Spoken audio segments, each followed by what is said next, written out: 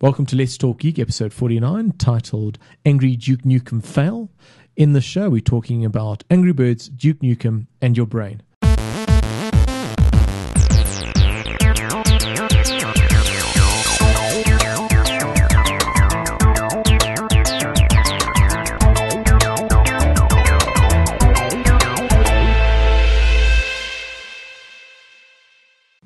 Welcome to Let's Talk Geek, episode 49. Uh, we have a random this week, which we haven't had for quite a while. I'm not sure who actually brought this in. It's either Jan or Quintin, I think. Uh, which me, yeah. is Jan. bullet trajectory cannot be parabolic. Um, And then I got it from Wikipedia. yeah, there's a whole long discussion here, but I think this is going to take a bit long. Go check on Wikipedia why a bullet trajectory is not actually parabolic. And parabolic is important because 49 is a perfect square. And uh, the formula for a parabola obviously is x squared is the, the base term you need to make a parabola. Um, with us this week, we have uh, the usual uh, Jan from Jelen. Um, oh, let's actually pull these. oh, wait, there I haven't go. mixed in a while. I've been That's spoiled me. with uh, Johan, Yeah. but unfortunately he's got his uh, ol- uh, youngest son's birthday today, so he's away. Oh, away. okay. Cool. Uh, we have uh, Quintin. Quintin. He's not that normal around though. No, he's not that normally. he's been in a couple of times. Yes, and yeah. of course, Stewart. wi- Uh, Stewart? Stewart who? I've been a long week, sorry. I must not How's it, guys? nice. oh All right. Um, let's get into the IRC stuff. We'll pace that through. Um, events happening this week. We have Towel Day today. I actually brought a towel. Yep. I know you did. Where is it? Uh, it's outside. so much for that. and, and it's Africa Day. And our So, flags so are- I think from now on, like all all Douglas Adams fans in South Africa need to have a towel with the, The Africa African continent yeah, on there. Mm. I think we'll I see. think Is that it's- the bit that we're going to suck? That's where your, your nutrients are stored. Hey, well, it's the part the rest of the world is sucking. Let's uh, yeah. yeah. Let's not talk about it has politics. been decided. Um, some other things coming up. Fourth of June is we have the uh, Twitter blanket drive. Um, it's basically it's got started I think last year, or the year before, and it's basically to get blankets for the underprivileged. Pretty cool thing to go to. hmm. Uh, and then of course this Friday is the 27 dinner. So get information at the usual spot, 27dinner.com. dinner.com. yeah, let's actually check that out. Do you know what the topic this year, oh, this year, this month is? Uh, open source. So it's Twitter, Facebook stuff, and Open then, source. Twitter, open source, Facebook stuff. Social. social The media. social media. Oh, okay. It's always social media though. Generally, but it's specifically talking about social media tonight. Okay. Um, and then they've also got something about CRM. Uh, I think it's Okay. about 150 rand a head. Not sponsored this time, All right. um, but go check it out. It's- It's certainly worthwhile, especially if you haven't been. before. I know I saw I saw some of the tweets from from the organizer, and he said that what they've had is with some of the sponsored events. Just by the way, just No. um, while we're talking about it, is that people. Um, uh, people are, are rowdy and rude, and so the speakers you can't hear the speakers properly. And so he said he's just not going to make it free ever again. Mm. Um, That was the last tweet I saw about it, and I understand that you, you like as soon as you put a, a, a price on something, then all of a sudden people go, you know, Yeah. is this worthwhile? Worthwhile, Am I just going to go for free food? Exactly. Hey, it's coming back to that. Uh, sorry, just on a similar topic, but a little bit more random. Um, you know, Boston Big Picture. You must No. have seen them. Boston No. Big Picture. They've got a go check them out. It's the Boston.com Oh, newspaper. the picture of the day. Yeah, but they got like a whole series Yes, of photographs. Okay, very high resolution. You know, like really prize-winning photographs. Some of them really good. Of you know, with all- all the hot spots, uh, or you know, they had the ones with the tornadoes and the Icelandic new volcano and all the rest. They've just replaced their comment system with Facebook's comment system, and Yeah. one of the reasons why stop the trolls Money because Web has people done- Oh, yeah. people comment I have to comment with their Facebook profile. They have Yeah. to log in with their Facebook profile and then comment with their Facebook profile. Yeah. Okay. Very interesting. Yeah, MoneyWeb has done exactly the same thing, I think, but they don't. I, I, I haven't actually uh, uh, played with the MoneyWeb system that much yet, but I think what they do is they just have a registration thing. In order to register for their comment section, Mm. you have to register with your Facebook account, and it pulls in your information. No, this actually uses Facebook comments. We, we had it at the bottom of our Yeah. Alti Star account for Tiny Well. I've just moved it because it just it, it's it's it's based more for comments. It's not really like a rolling thing. Yes, yeah. Um, and basically, you can then you just type it's on the bottom. You just type and your profile comes through. Uh, It's and it's it, very well. it, and it's uh, well. The one reason is to stop the trolls. minimize the trolling. because then you can see if because basically those photos always end up in a fight about religion or Mac versus PC or America versus some other country or whatever it is. Yeah, so yeah, yeah. yeah. Or just America. Yeah. Either It's way. about, yeah. but it's interesting. It's interesting. So yeah, you know, pay have to pay for something, and you you'll get the people that really want to go. I'm not going to say Ash and Reese. It's a bit expensive though this time. 150 But rand. it's ah, not too dude, it's, it's not that bad, man. Cool. It's really not. but that it is bad. worth it. It really is. But worth then, what does the 150 rand get you? Uh, it gets you a main meal and Oh, come on, dude. You'll pay that. F- if you go to a restaurant, you'll pay that for It's main probably meal extremes anyway. though, right? Though. Yeah. Yeah.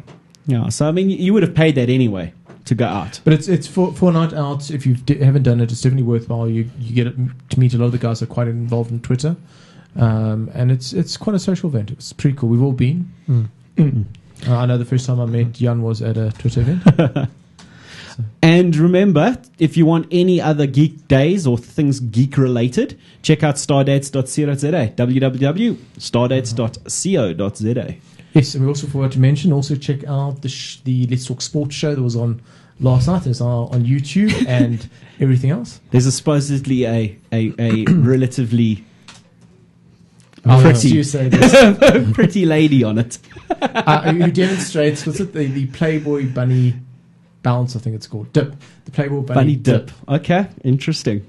Now I have to see it because I want to know what that is. Yeah, Well done. I wouldn't type I wouldn't type that into YouTube with your volume on No, at it's the moment. It's- it's- No, but if you wanted to go find out on the net what it was, I'd just Yeah. watch out. Fair enough. Um, All right. Thanks for the, Thanks for the warning. first uh, topic for the show. Um, we have a South African in the Google Science semi-finals. Yay. Uh, Stu, do you want to just give a big rundown on what, what this Well, is? we talked about this before. Basically, it was a worldwide science fair for. Um, you could just anybody worldwide could could go. eh, What it was an age limit, I think eighteen or something like that. I think uh, you know, It was, eight, it was something like 18. You still had to be in high school, basically. And there's a South African in the semi finals. So uh, Luke Taylor is a grade 9 pupil from the German International School in Cape Town. And he is g- joining, uh, I think they said 64 other students to go to the States and compete with his project. He did a, a project was natural language processing for robot control. Yeah, Wow. effectively, he Yeah. took what the Mindstorm Lego sets uh, settings, and he took one of the specific robots just to constrain it, and he got it so that you can actually give basic commands. In written, hu- sorry, it's not spoken, written human language, natural language. Ah, I, I assumed it was spoken. No, no, no. It's written natural language. Either way, that is, um, having worked with the guys at Meraka before, I know that it's a huge uh, place of research in South Africa at the moment. It's it, uh, I don't know how well funded it is um, anymore. Probably No. not particularly Well, well. I don't. I don't know. Uh, I, I know that Meraka was doing quite well when I was working um, for them, and um, and the guys that were working there are awesome, and so I know like this is this is like a project to set you up in a fairly good Hey, research direction in The, South Africa. the thing is, this, the, the, the speech to text is pretty much sorted. I mean, it's relatively, especially Yes. for command based, you know, uh, yeah, Yeah. speaking really quickly. Uh, And you can also plug into the Google. Uh, but what I'm saying is the, APIs. the, the solution, the, the text to speech, uh, sorry, uh, speech to text is quite sorted already. That's studied. It's now making sense of what you've actually written and executing, you know, executing those commands, And, which is really and, cool. and, uh, if you if you look, there's a video that you can watch where he speaks about Yeah. why he came out, and it's that a lot of his friends get quite intimidated by this the hectic programming languages. So he Oh, wanted to create it so they can use simple commands. So you know when they buy the robot, they can immediately very simply get it to start doing stuff left, right, forward, backwards, and then from that they'll then later on progress into the more complicated stuff. Mm. But it, it allows them quite quickly to start using this toy that they bought, and then foster the interest to, to go further.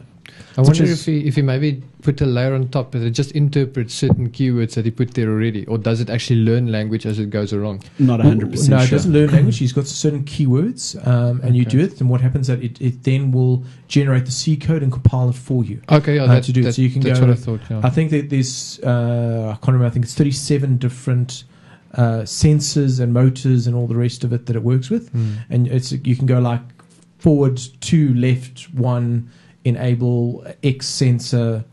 Um, stuff Okay, like so that. then it just interprets what it gives you and makes. Yeah, but there's a little bit more intelligence than just straight interpreting it. Okay. Yeah. Yeah. It's still pretty fine. cool. Very Yeah, cool. yeah. It's there. Go, Good go stuff. check Good it out. stuff for a grade nine pupil. Uh, and, and if anybody out there can tell me where to get Lego Mindstorms in South Africa nowadays, yes, easy. yeah, Yeah, I've got. I where bought did you the get other it? day. When? really? Yeah, I mean, I bought it in the middle of last year. Yeah, middle of last year. No, go to. I will tell you exactly where to go. Go to the Grove there's a Lego store in the Grove, yeah, yeah. and Okay, they've cool. got. Cool. Uh, and if they don't have, they've got their sister shop that is in the Irene Mall, I think, and they will also have. I was epically disappointed. I was in Hamleys of London and I could not get Lego Mindstorms. Why don't you go to one of the Lego stores? But I had limited time. top Ah. tip thing: don't get the get you know, don't get the box set. Rather get the education kits. It's a little bit cheaper, and you get exactly the same thing. Only what you, what you don't get is you don't get the same manual, and you don't get it in a fancy box. You get it in like a crate.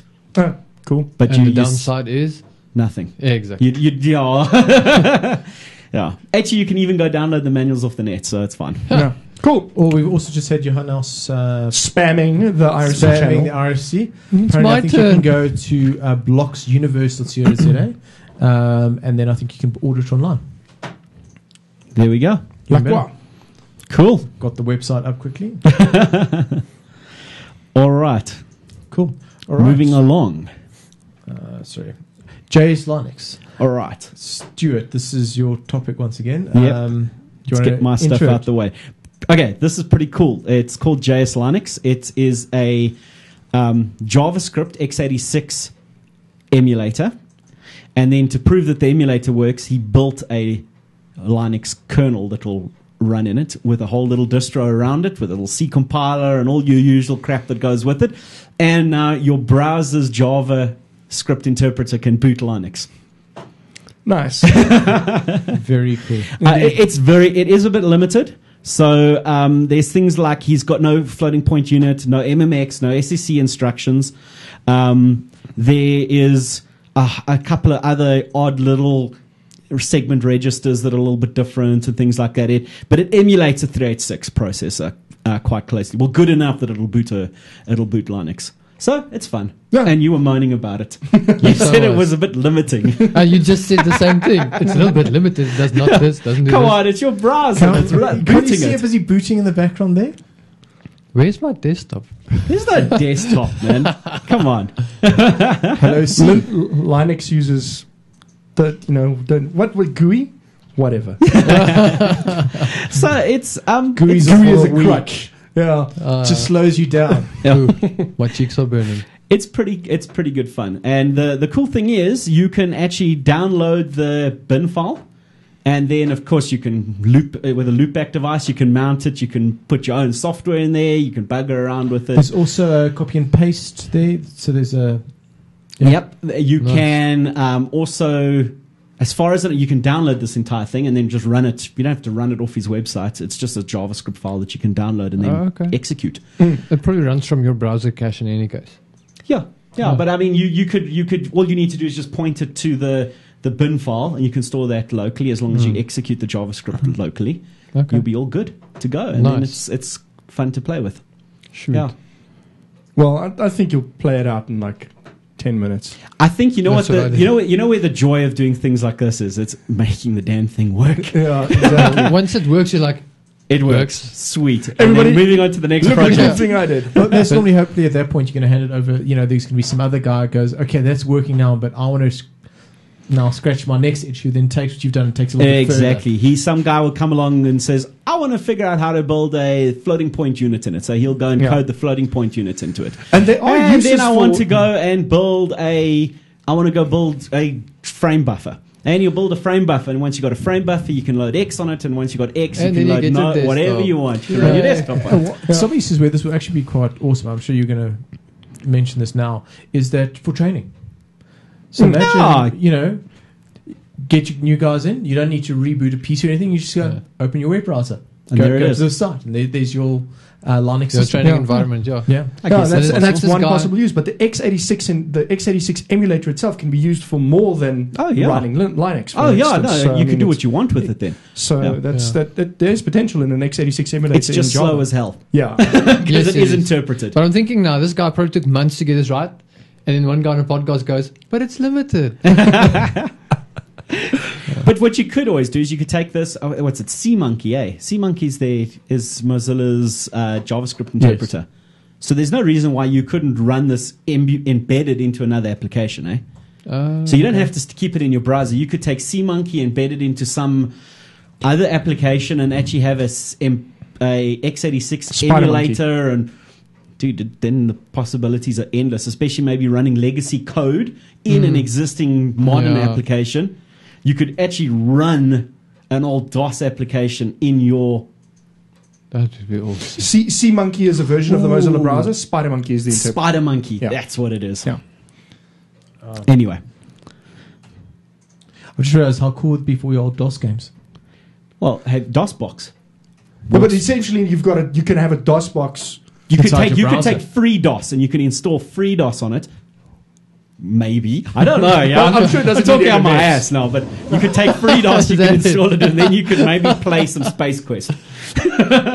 Oh, Space Quest. Cool. As long as you've got the CGA card and all the rest, so that might be a bit of a problem. You might need a bit of drivers written and etc. etc. Come on, there is, there's some guy out there who's I'm going to be sure bored. they'll be able they to do built, that. Was it in uh, Minecraft where they built Yeah. a working? a Uh, working CPU basically. It was they had a, I mean they they they built the whole instruction interpreter. They built a uh, when it's loaded. They built memory. They built an ALU and all the rest. So quite interesting. so if some guys don't have time to do that, come on, just, just upgrade this a bit. Uh, No, give us what sound output, and so we can play games in JavaScript. Okay, um, on to the next topic we picked up this week, which I, I found very interesting, but it's more for to pick up. This is metallic glass, injection mold metal like plastics.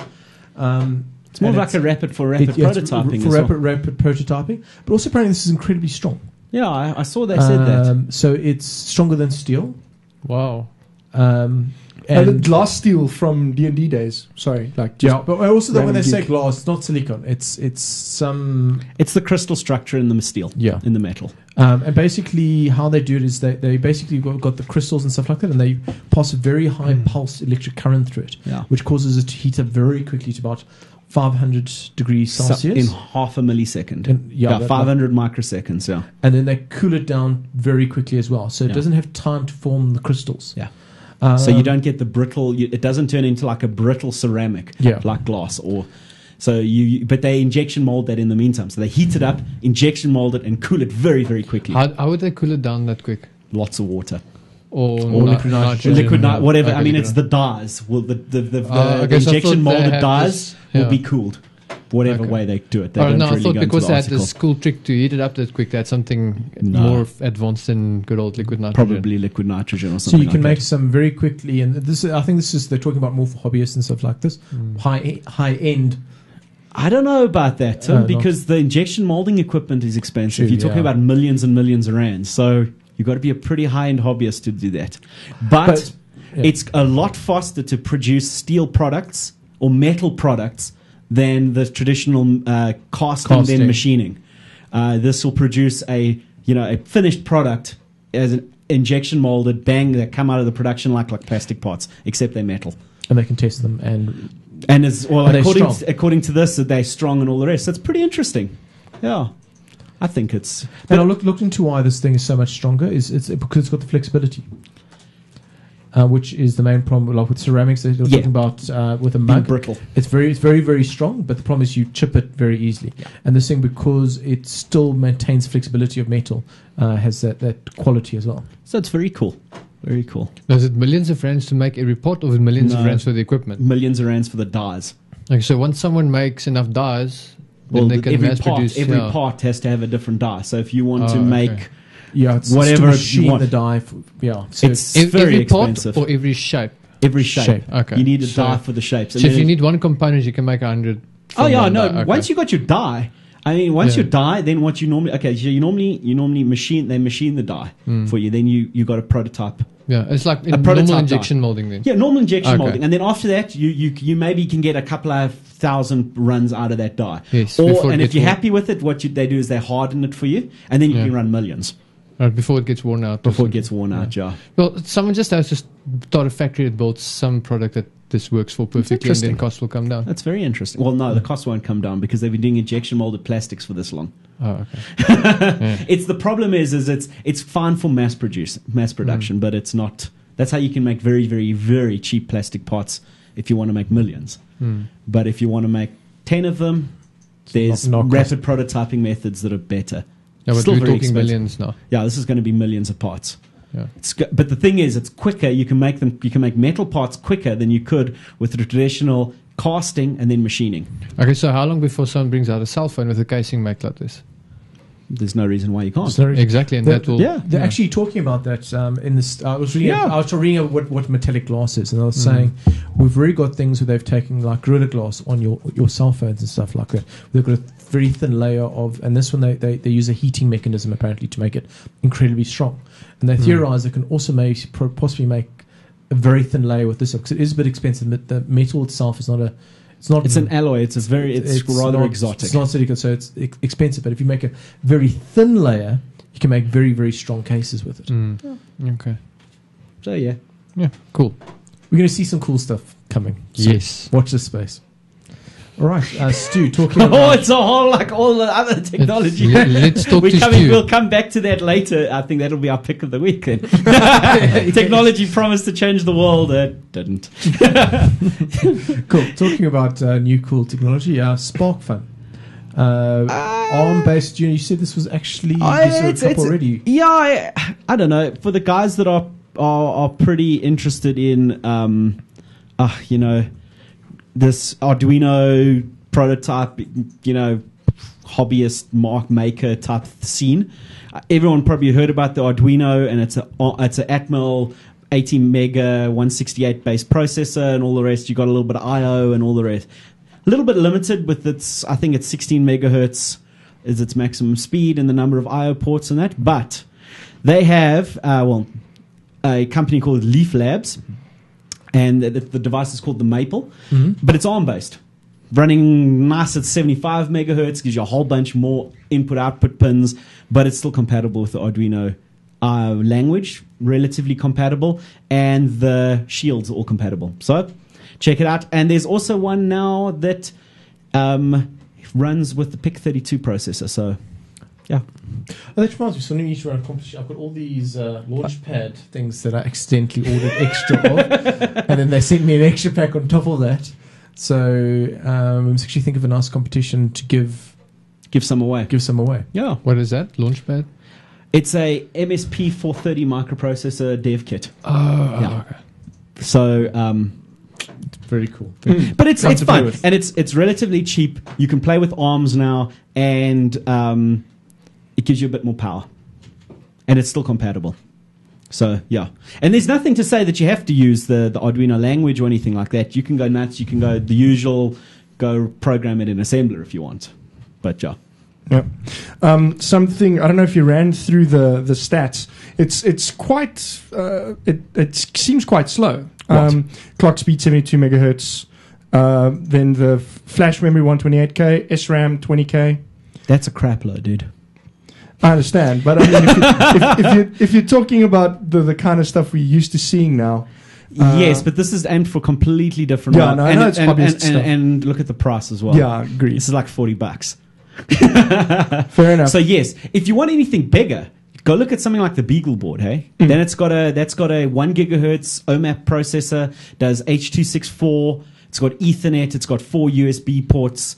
It's flipping I don't know gig of uh, half a gig of RAM and a couple of gigs of of storage on it and things like that. And that that's like just over a thousand rand for Okay. that dev kit. yeah, So yeah, it's fun to play with. It's awesome to play with. Yeah.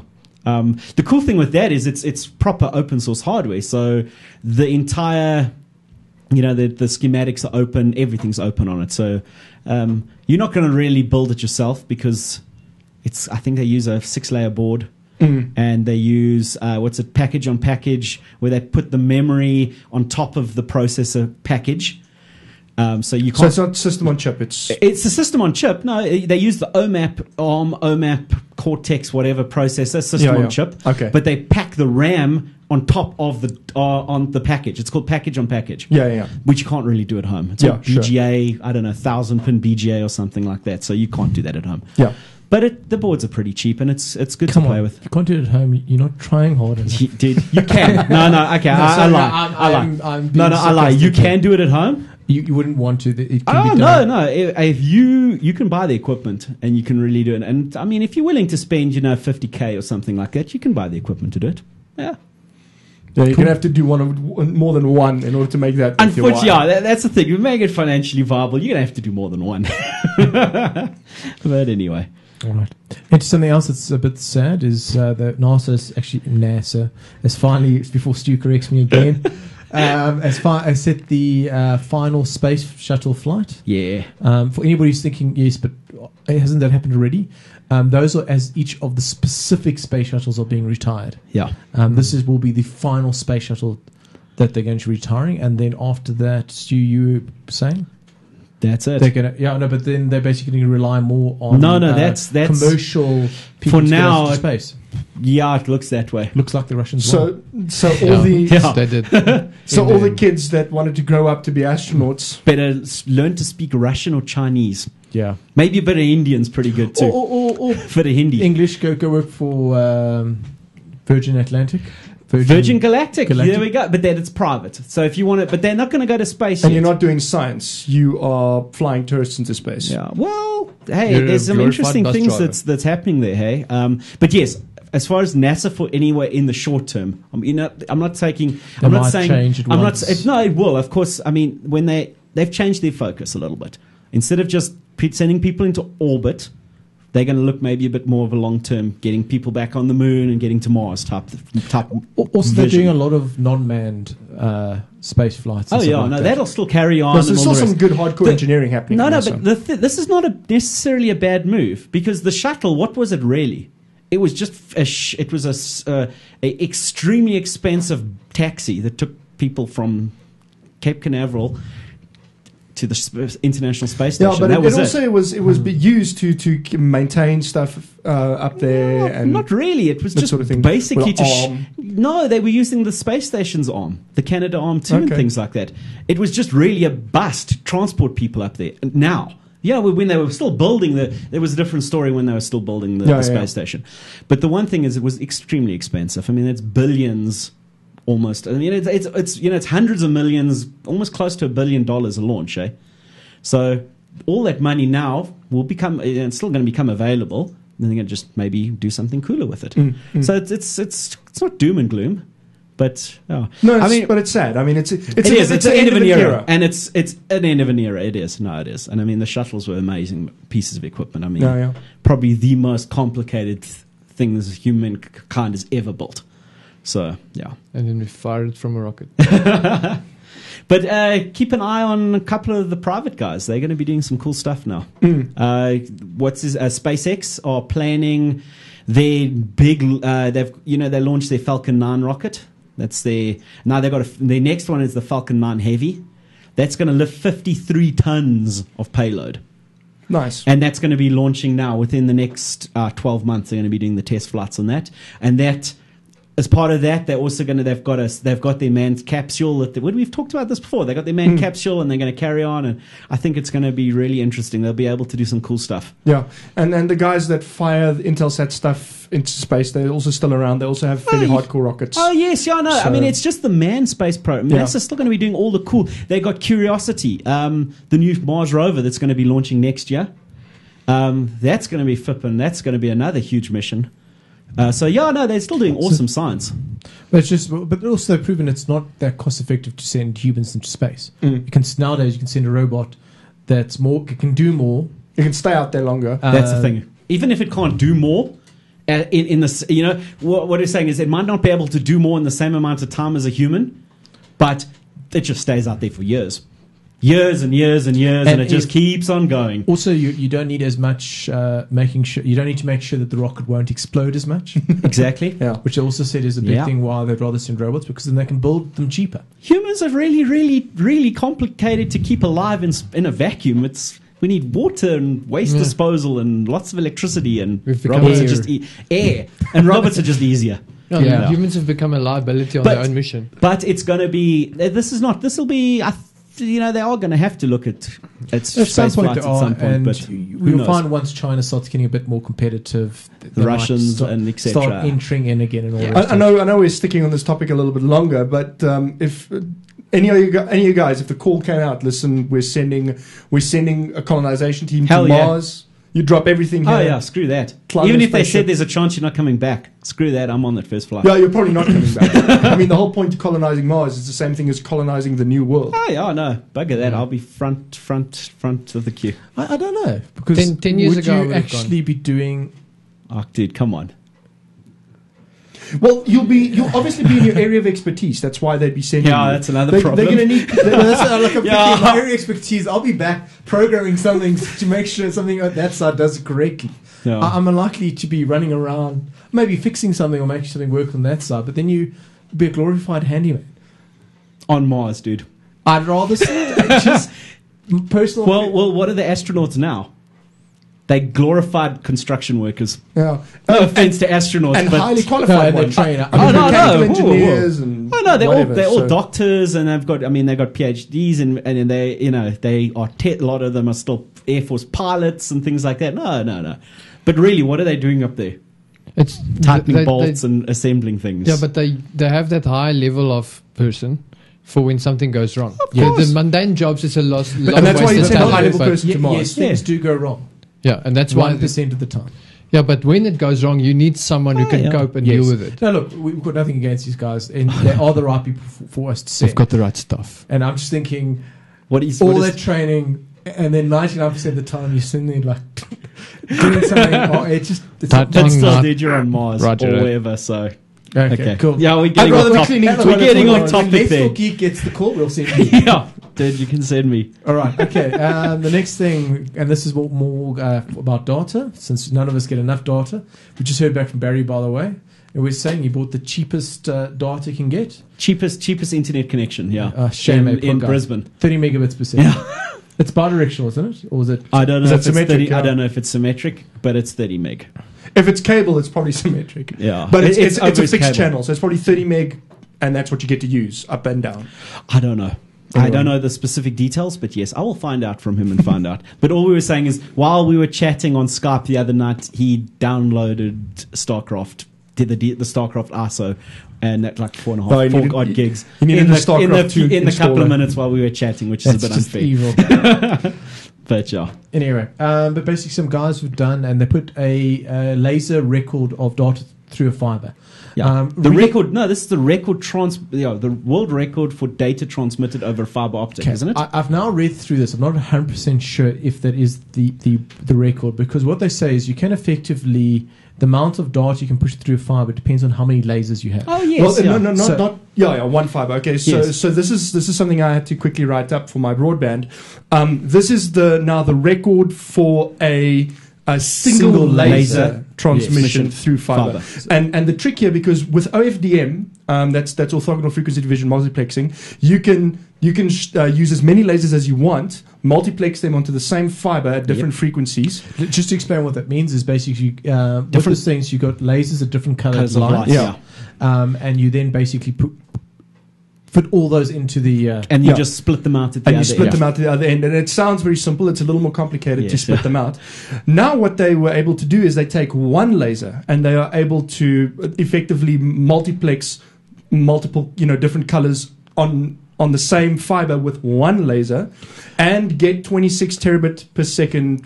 over that and, fiber. and just that to explain fiber. what the advantage of this is cost Lasers are expensive. Expensive. very Yeah. expensive and Mm. eventually where, where this will trickle down hopefully down to consumer grade is your card will never have more than one laser And what about is this compatible with this? Is this technology compatible with existing fiber?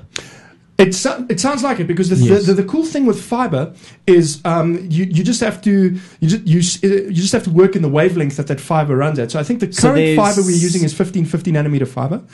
So as long as the lasers operate in that so their, their wavelength, photo multiply the, the boosters down the for undersea cables and stuff will be able to as long as it's within that frequency, within that. I'm, I'm spectrum. not the new 100% tech of sure booster- whether the booster the new tech of boosters is an is an uh, is they use optical, eh? They use it's EDFAs. optical Yeah. but with the, with the way this works it might mess mess around with it because actually it also works on, on the intensity of the light Okay. so it measures uh, the, the colors and uses intensity to basically get all the different signals Channels. out again. Yeah. So if you get something that slightly skews that or alters the, the ratios of that in any way, it might break it. So I don't But know. you could character characterize your repeaters.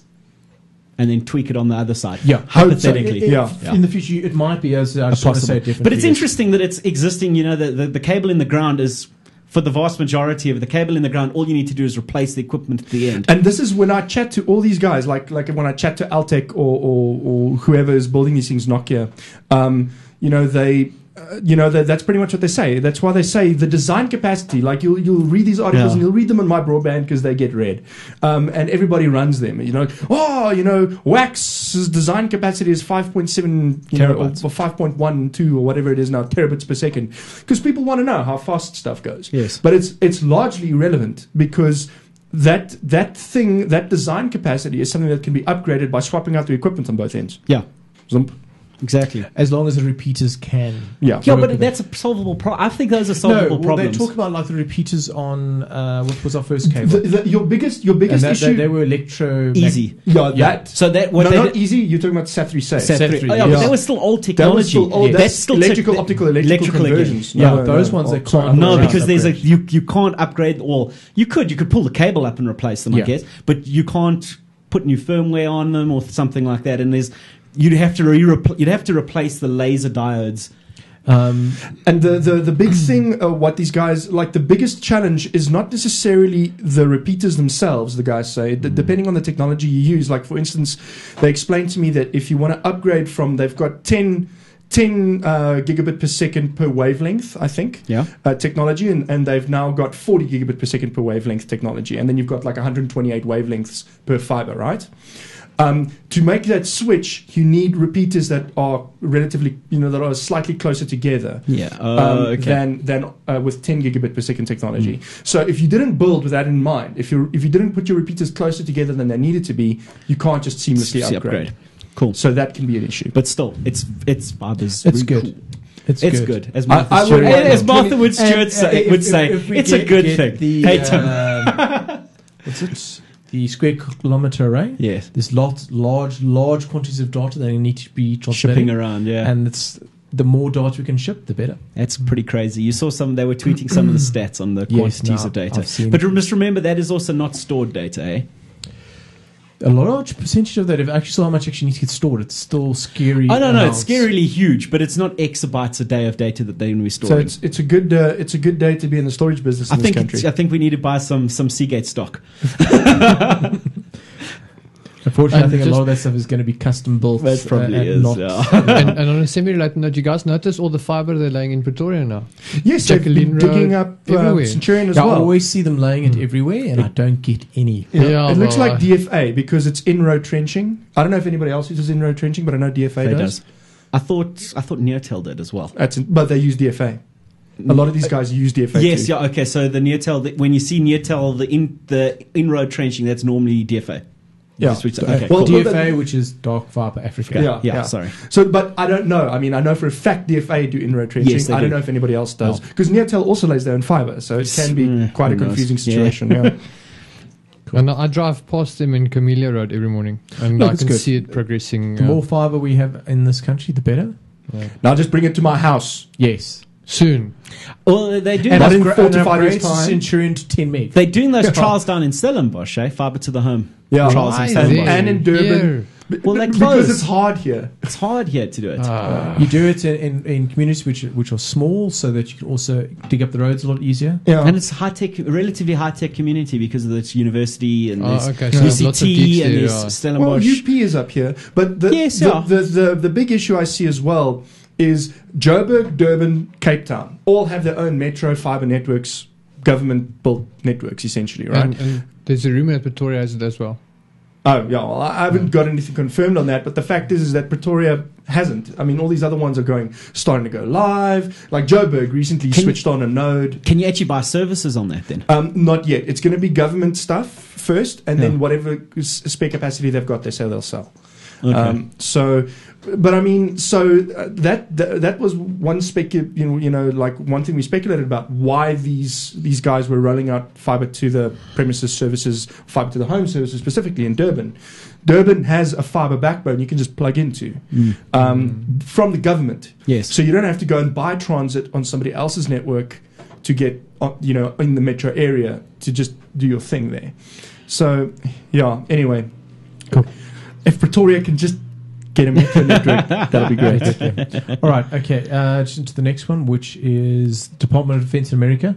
Stu, you, uh, I'll go into this a bit. They basically released a. Sorry, I've been adding a lot. Obviously, this, this week has been scarily busy. Um, Department of Defense released a, They've been doing a study for a while. Study. Yeah. and this is the report that finally released about. It's not. 68, 68 page guide. It's actually way. quite short. It is short, but it's got some interesting Yeah. information in there. Um, and it's basically was looking at open source versus closed source. And I think the most interesting um, comment that came out of there was about a, about a gun. So imagine they sold you a gun, but then they said, actually, fact, if you want to reload it or Clean clean, it. it. or service it, everything it has to be gone through to um, some external provider to, to do all that stuff for you. They'll get laughed out.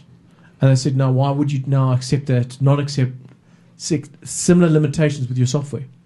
Hmm. Um, this this is mission critical stuff. Now it breaks. Well, okay, well they've got to go fix it. So how long are they going to take to fix it? It's not in the external service provider's interest to do it as quickly as possible. Not saying that they won't, but there's no require. You know, the longer they take, the more they'll get paid to fix it. Um, where if it's open source, you can also then say, okay, who's going to fix it quicker? You can start bidding between different people, and also you can fix certain things if it needs to be fixed tomorrow. You can get somebody in house to fix it. Yeah, and it's not just the fact that it's it's uh, external pro- an external service company gonna is the only person. What happens if they disappear? Go bankrupt. The company closes. Bang! All the guys are fired. Disappear. That's it. Now, Yeah. Who's going to support it? There are ways to mitigate that, but I mean, the, the, the bottom line is yeah, and, and and now the other things to go with the hmm. proprietary. If you want to like take that take that even further, certain proprietary solutions require you to check into a server. Yeah. You know, you've got some sort of licensing server or whatever. Yeah. Imagine The you've got to ask permission before you reload your gun every time. Yeah, and the security implications of that as well, because then it's a denial. Of, uh, an attacker could easily deny Just you destroy the login server. service. Yeah. So And all of a sudden- security things hosted of tracking those packets to the login service. Yeah, Well, interesting. well, here's a, with speaking of licensing, an example that happened to us end of last year. We've got a training center with about ten PCs. Give Basic Pastel Training has been running Windows XP for ages, and somehow our uh, volume license key got flagged as not genuine. So on the morning of training supposed to be taking place, PCs don't want to log in. Say your That's it. license is, you know, it's it's it's a flaw, and you call Microsoft and uh, I've got to redo the whole thing. You, you're powerless. And the problem is, okay, you unfor- unlucky because it's you only had 10, uh, 10 machines. No, we had to. No, those in the training center. The machines we were working on in the office had Oh, to be done everything. as well. Oh, Yeah. okay. But, But- still, you're. How, I mean, you're Really, You're not a. You're not a multinational company. No. So to try to get any service out of Microsoft we is going to be a bit of a problem. Upgrade to Windows 7. They just said. like, we can't re- we can't reissue you Windows XP licenses anymore. Tough. Yeah, we're stuck. so Hmm, that here we go. sounds awfully convenient. Yeah. Yes. You gotta It wonder. does, doesn't it? But yeah, Yeah, but I, I do know they've been trying to get rid of. Sorry, my Windows BSO XP for a meter just while. revved in the red there for a second. But anyway, this this the, the, the, the guide is called Open Technology Development Lessons Learn uh, Lessons Learned and Best Practices for Military Software. Something interesting you mentioned that came out of that as well was the fact that they say please stick with existing licenses. licenses. So eh, this is this is um, it, it, it- it's best best practices for military software, but it also applies to any contract that you want to uh, want to do. Is lawyers, okay? Yeah. And lawyers Don't are- like change. Don't like change. So that was one big thing: is stick to licenses that people know. Don't try to roll your own license. Stick to GPL, Apache, um, BSD. BSD license. There was a list. There's a list of ones that they recognize as open source licenses. Because if you come along and you say you roll your own, well, It's untested in court. it's untested in court. It is untested in the organization, so it's an The organizational issue. The lawyers get involved, and it all gets messy. So that was one thing. Is stay away from lawyers. well, more because they err on the side of caution. extreme caution. And it's going to be costly having Yeah. to re- investigate a brand new license. So it comes to the fact is if you're if you are if you're bidding for a project, right, and you say your this equip this equipment software is going to use this license, but it's not a, a, a you know it's not an open official or a a, a, Recognized a recognized open license. Even though it might be completely compliant, it's just never been tested in court and all the rest. And your competitor comes along, well, sorry, your competitor's most likely going to get the contract just because of the license you used. So it's interesting. Hmm. Yeah.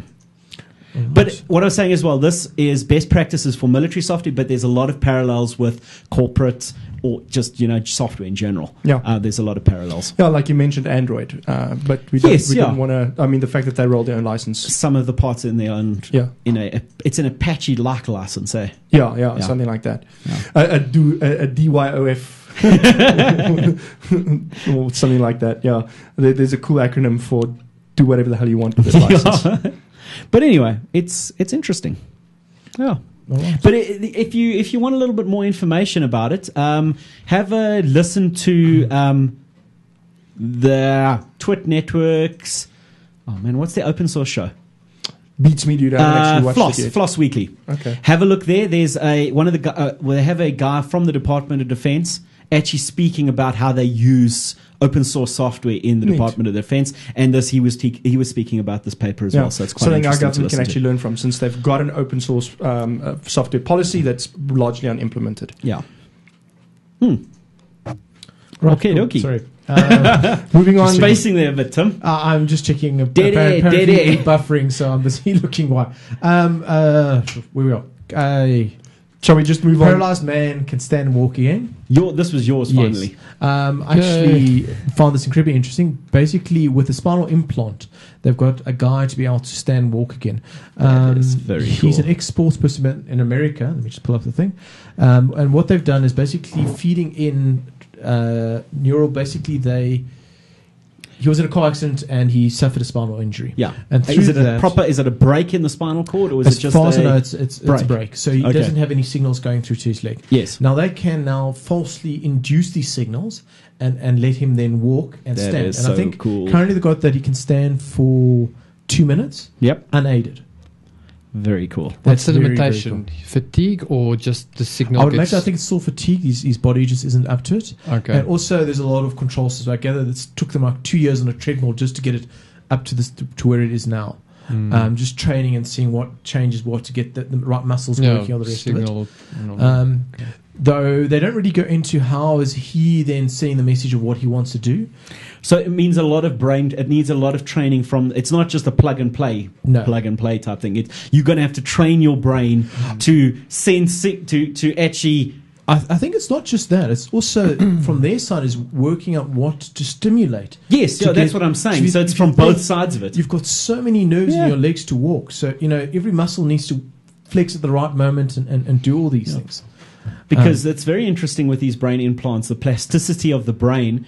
To you know, with where they've done it with a bit of um, with people that are blind, where it's a it's a fault. It's the brain's still fine, Yes. but the, the the nerves are damaged. visual processing bit is still there. Yeah, so that what they can do is they'll take a little a pad of electrodes planted on the visual cortex on the back of your head here, and will show, start showing braille symbols.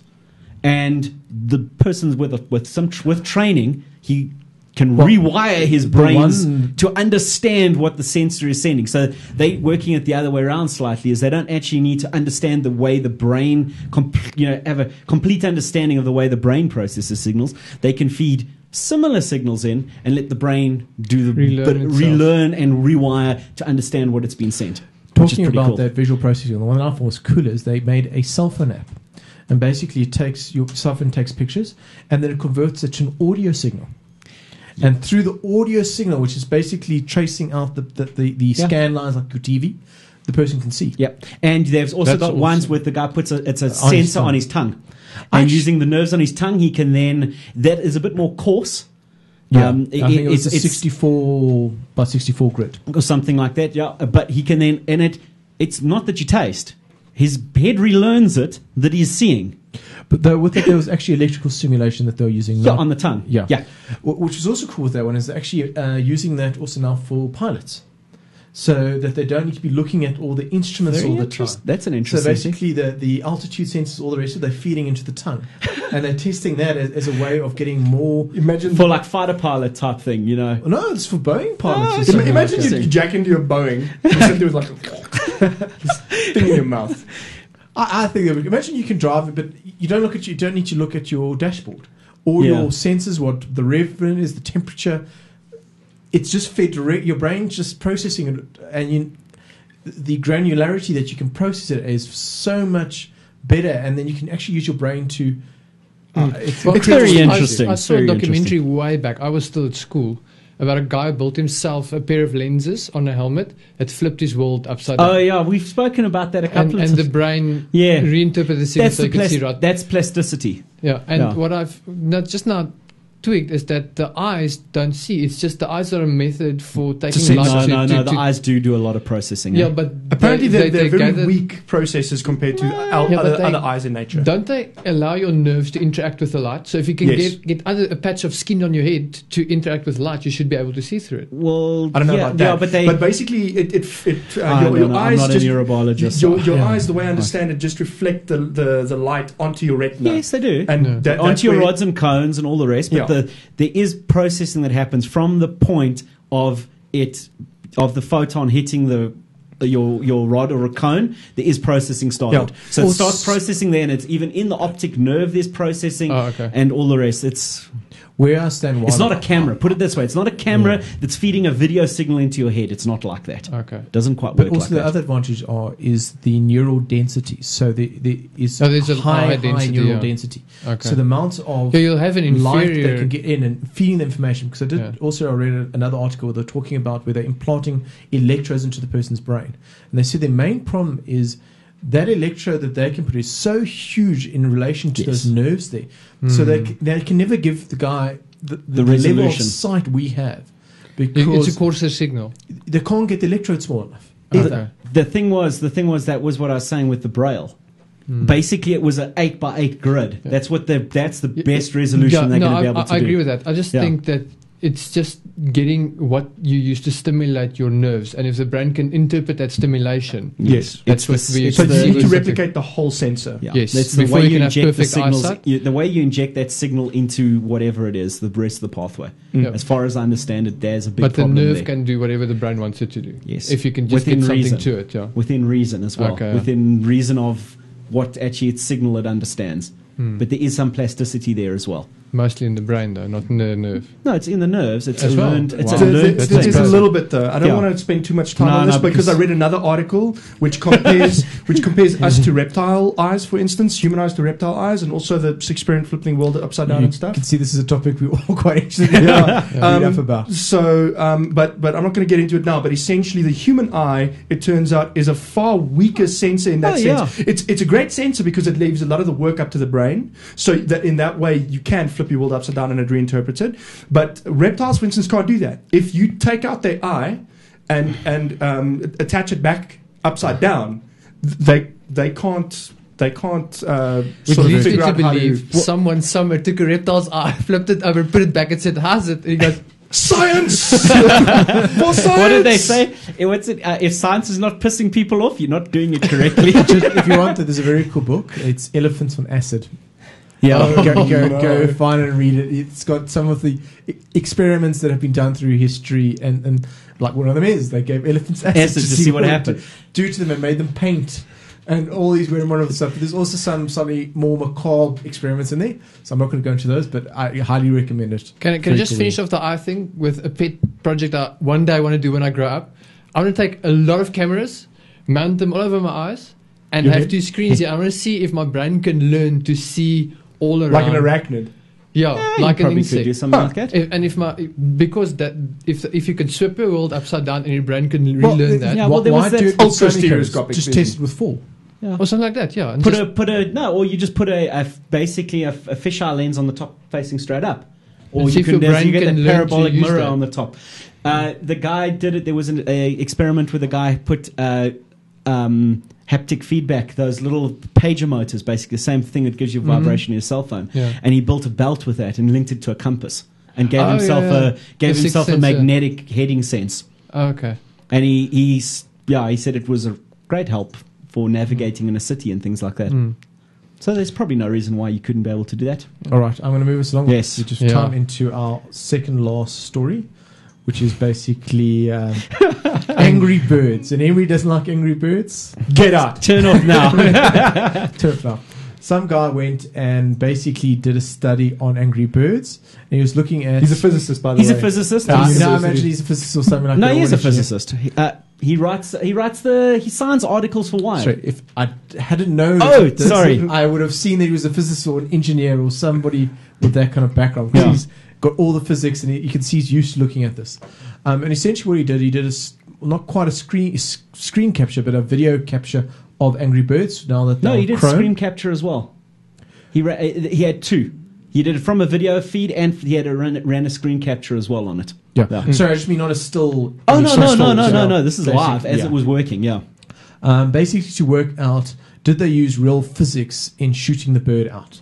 Of the catapult. Yeah. And, and you can see he's got all, all the maths here on what it should be doing, and then he's plotted graphs like real life versus what he's actually visually seeing, and acceleration. And then he goes and talk about, you know, in actual fact, if this was real life, the one bird would be heavier than the other, so you would have to learn how to You change initi- it. yeah, exactly. The Um, basically, at the end of the day, he realized they all get released at about 20 me- meters per second. second, and that's it. But the gravity constant that they use is quite accurate. It's about nine point eight. Okay. Yes, So it's Earth gravity. Yeah. it's reasonably good gravity, but the catapult is twenty two. If you pull it to the maximum, twenty two meters per second. Doesn't matter what angle you use or what uh, bird you use.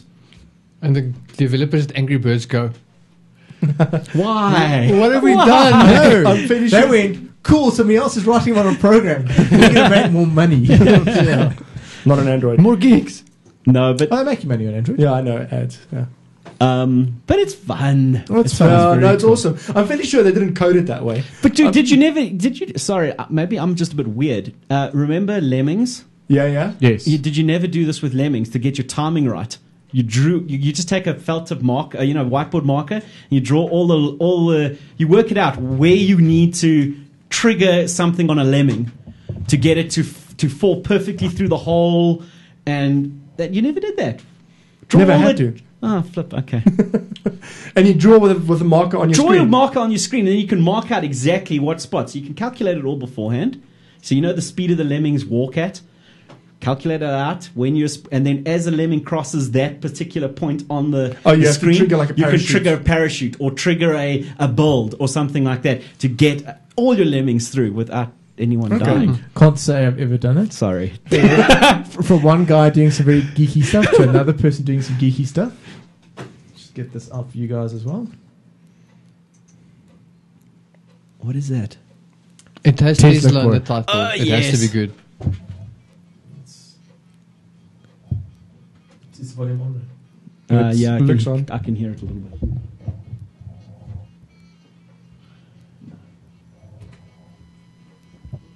I'm just thinking, why poker face? Why not? I'm also. Uh, did you? Well, seeing that, did you see? Um, did you see Adam Savage's one? No, no. We Which at one? at uh, the Maker Faire last week. Maker Yeah, Faire. yeah. He stood in a he stood in a Faraday cage, and they played the Doctor Who sound, uh, the Doctor Who intro, and he did a little robot dance and that on it, also with a Tesla coil. Cute. Anyway, somebody's playing Lady Gaga. Uh, can't work out why you guys can't hear it. Yeah, Tesla cool, Gaga not cool. Tesla. That, that's a, is dis- that's a awesome. dis- discussion for another day. But Nikolai Tesla, Scary guy. that guy. Very cool Scarily stuff. bright guy. And scary guy. Yeah. Um, No, but very cool. no. If you've never read up about him, go read up about him. There's Yeah. some there's a couple of good, good uh, biographies and stuff. I can't remember off the top And of the, my compe- head now. and the competition between these inventors during that time was Yes. incredible. him, him and uh, Edison. And Westinghouse and Edison and all these guys. It was cutthroat. Yeah. Electricity was cutthroat Yeah. business.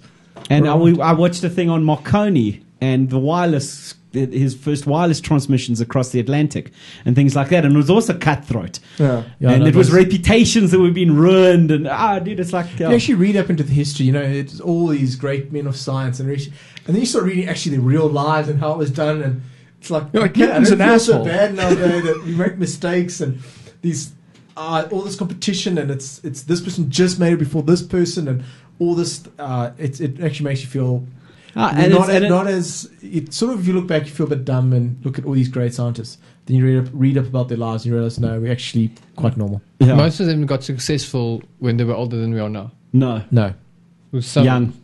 Lots Uh, of young studies normally most of your successes are done by the age Oh, 30. scientists. by 30. Okay. If you I thought they were older than us when they got Mathem- successful. mathematicians, if you're 30, Yeah. that's it. You're over the hill. Really?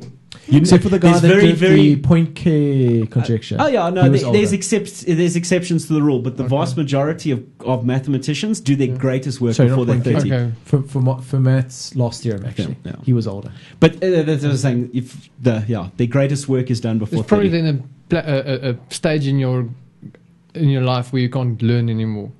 No, it's not so much that. It's got to do with a whole bunch of it's how the brain works, Yeah. hormone profiles, Social and pressures. drives. Where you can't stop learning. Um, at a certain age, like at age 30, your hormone profile starts to drop, so your drive to succeed and compete decreases. Oh, So the probability that it will occur beyond that date is lower. okay. Um, Oh, so it's a whole bunch Wow. of things going on. All right. Sweet. Uh, else uh, put in the IRC channel the uh, online lemmings game. I'm going to draw lines on my screen And- now. And All else, you realize I'm going to have to go to the root of that site now and see what you're saying. Just don't do it here. Yeah, okay. Well, let's do our picks so we can end so we can go from play Lemmings. Yeah. Uh, Yeah. Basically, our pick for the week this week was thanks to Quintin's Twitter stream. Hello. Who who who vo- nominated it? I did. okay. Yeah. No, I didn't get much response. Oh, didn't you? Okay, Yeah. cool. Um, and it's top tech fail or end that in the end did not actually change anything. Basically, it's oh, it's this tech that had all this great promise and it's gonna change the world. change the world, and this is really going to Yeah. define gaming or Whatever. whatever. and then it didn't then make it, and everyone nothing thought, happened. "Ah." Yeah. All right, let's start Yeah. with the person, Quintin. All right. I remember the day Napster got shut down, and everyone said, "This is the end of freedom, the end of music file sharing, blah blah blah." And here we are today, and Napster is a vague memory, and people are still sharing files freely, more freely than Napster did. Maybe they're doing it in a different way, but It's with still peer-to-peer. Yeah, still peer-to-peer torrenting. And you know what's funny about that? The record labels are still just playing the same game as they did when they tried They to shut make- down yeah. Napster. Yes.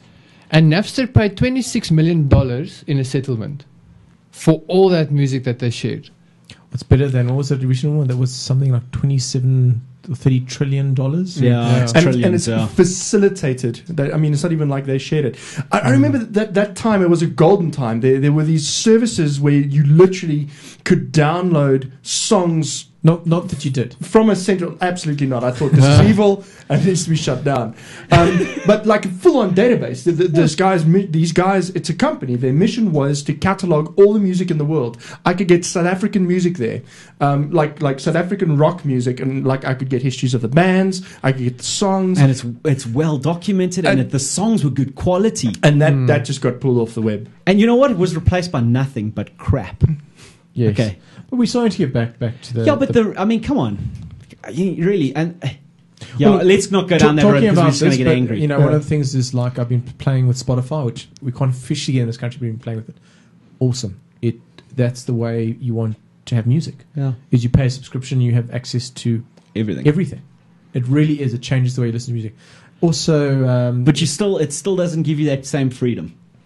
It's still not free. It's not f- as freedom as in you can take, you can, can you download it? uh, you, Spotify. you, you can buy it from them. So if I wanted, yeah, but say now I wanted to get us, I wanted to download that track. Yes, Can you actually download Yes. it and put it as MP3 format, and you can go and if, if you pay for it. okay, so you but you got to pay for how much Yeah. is it? Uh, pay it, for? it follows the normal price. 99 like- Ninety-nine cents. or something like that. All right, Um, cool. Look, I'm, I'm not, you know, the guys who do this stuff do, do need to get paid. So I'm not anti that. Oh, no. Make it easy for the users, though. Yeah. And this Mm. does.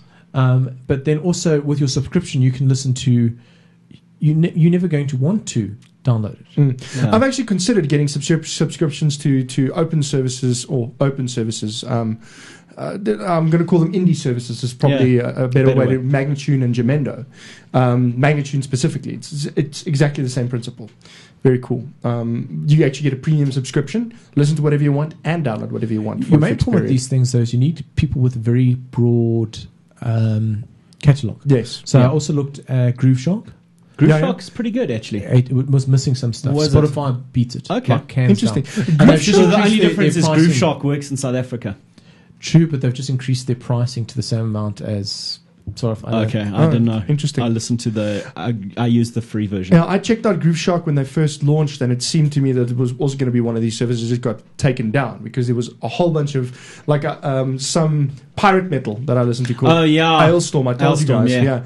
Um, it was the actual pirated songs, like the the, the it's a, the fake stuff they uploaded to the, to. to, their to uh, torrents? MySpace.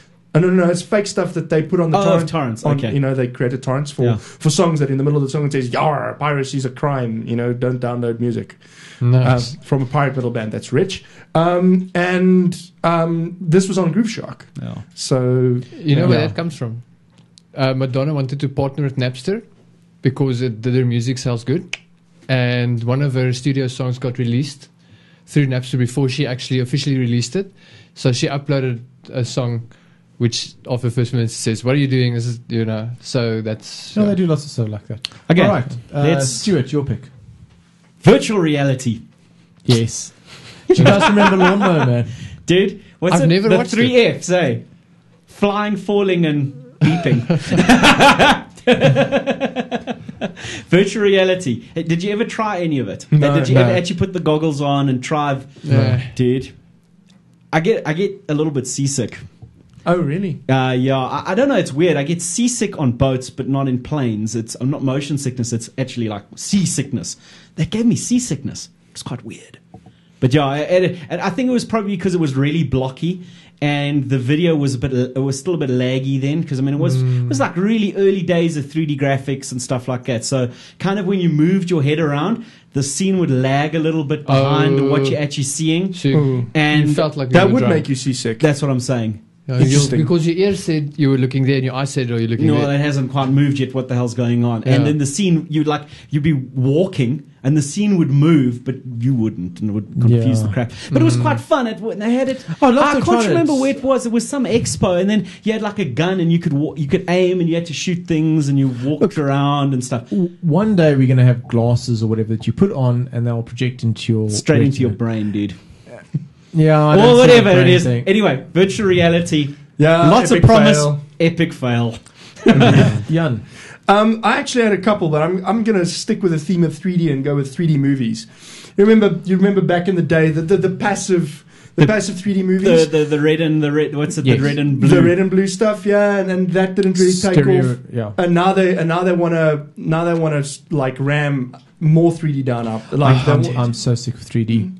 So you know, polar- you- polarized 3D. Did and you see the thing with stereoscopic 3D? You know, you know, with the polarized 3D, you know, it's a, it's a, a separate lenses that they add onto the Yes, I digital saw that thing The DRM in that is so bad that on Sony projectors. on Sony projectors that the, the the the cinemas are leaving the polarizing project the lenses on. In the and, States and now, yeah. dropping the, the, the, the, the brightness of the movie because if you remove the, the lenses in the correct in the incorrect sequence, it locks your projector up and you can't use it. Seriously, that explains. I had a friend who went to go watch Pirates of the Caribbean on Tuesday, and he was saying it was just it was dark. Interesting. It Might was be very dark, and he complained to them in their city, or they said, "Oh, you should have told us before you started watching the movie." And he's like, "Yeah, but I didn't know until." You started watching So the much movie. fun. movie, yeah. Interesting. I, I'm not sure if it's South I don't It's know just, I It's wonder just- what digital projectors we're using in South Africa. I certainly hope it's not Sony projectors. Look, I, I've never seen this like this. I just worried it could be just coincidence. I just know he. Mentioned it. But anyway, it's quite interesting. Yeah. Uh, I did read apparently, apparently the, the, the, the problem comes in that Sony had um, have got older digital, you know, sort of punted these older digital projectors before 3D became mainstream, and so retroactively, in order to climb on the 3D bandwagon, they shipped these lenses um, that added the polarizing effect uh, for 3D stuff. And um, modern uh, projectors don't need that at all. They don't need an external lens. that. Yeah. But so yeah. switch to 2D and it works properly. But the the the the, big, the one issue was is the the DRM on the lenses. Yep. So 3D, 3D was a bad idea in the 90s in 3D movies. It's, just a bad good idea in the 50s. it's a bad idea now. Just stop ramming it down our My, throats, my, my please. complaint is I don't mind that some people like 3D, for it, but just pr- produce some of the movies, you know, on, on some of the like the blockbusters in non 2D. You know, give me one cinema I can go to. I'll go out of my way to go to cinema to watch it in 2D. Yeah, there are a handful, but um, what's interesting is uh, I follow. But they I won't follow be showing the latest. You've got to wait three weeks, and you may as well go yeah. wait, wait three weeks to watch somewhere else. and um, there's a there's a guy in the states. Um, I follow their YouTube channel. He invented 2D glasses. Essentially, what it is, it's 3D glasses with two of the same lenses. Oh, okay. Apparently what's works like a charm because he likes watching in 3D and his wife hates it with a passion. And so they built these 2D The glasses. biggest problem with that is you're still removing half the light, Yes. so it's Apparently, dark. yeah. I don't know. I don't know if it if it'll um, Well, if you dim it think too about much, it, but that's you're losing half the But data. even no, no. i- i- If it's 3D movie, that is. But the problem is, I found those 3D movies. Yes, they are brighter. Well, they're supposed to be brighter because the polarizing filters are only letting half the light through. Yeah. But they are not. They're not nearly as bright as when you watch it normally. And it gets washed out, and the color's not so good. Yeah. And I don't know, so apparently, um, from from chatting to to my uh, gaming colleagues, um, you know, 3D gaming is apparently fantastic. Watching it with you know a shutter yeah. um, shutter glasses, apparently that's fantastic. And even Nvidia's stuff that they that they build to make games 3D, even though it's not always 100%, it works quite well. I've heard that that most is the Yeah. future of 3D. But- Interesting. Keep it out of my movies. It sucked, but it sucked then. It sucks now. Give I us like a choice. Let us vote with our money, and then we'll show you which one we're preferable. Anyway, talking about gaming, my, my, my pick is Duke Nukem 3D, Uh, which, which, which apparently we not really, really are going to get it. The ultimate vaporware. Pre- Sure. pre-orders, pre-orders are. Did out, anybody here yeah. play the original? Yep. Y- yep. I think we all No, did. of course. brilliant. Like Neither- Duke Nukem One, Duke Nukem Joke. Two, Duke Nukem How? 3D.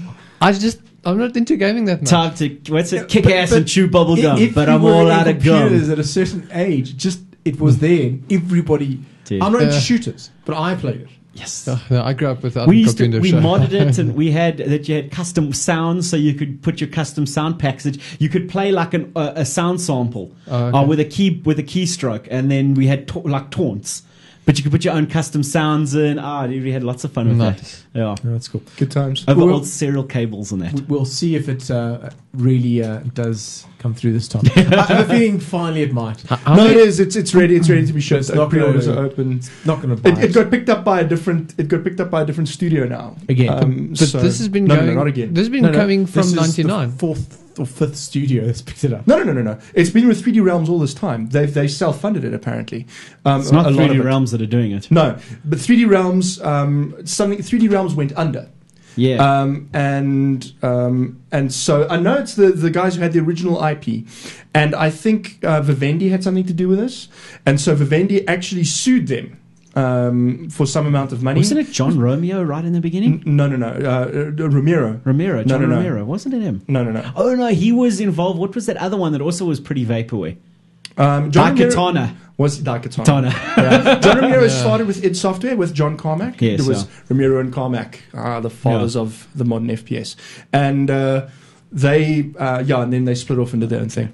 But yeah, no, it's. Um, it, but now, since the the, I think 3D Realms went poof, it got picked up by another studio last year, and now they're finishing it off finally. All right. okay, with that, we're going to say our goodbyes. I'm going to thank Jan from Vermeulen for MyBroadband, Thank you. Quintin Farrell with uh, Geek G33Q.co.za, Yes. Stewart Allen. Do you know if you want to punch your blog? We haven't done it in ages. He finished his lathe. I finished my lathe He finished his lathe. StewartAllen.org Uh, It's not and- just mechanical stuff. I do electronics projects and a bit of software there too. cool. Go check it out. It's very cool. It's been nominated on Hackaday a couple of times. Yeah. So Yeah, certainly with that, couple of my myself, projects. some Hawk. Um, and also tune into Let's Alti Afrikaans tomorrow. Yeah, I'm going to tune in. Yep. Uh, definitely. It should be quite fun. Um, and thank you for listening. Yep. Cool. Cool stuff. Bye. Thank you, everyone. Cheers. Bye. Cheers. Good night.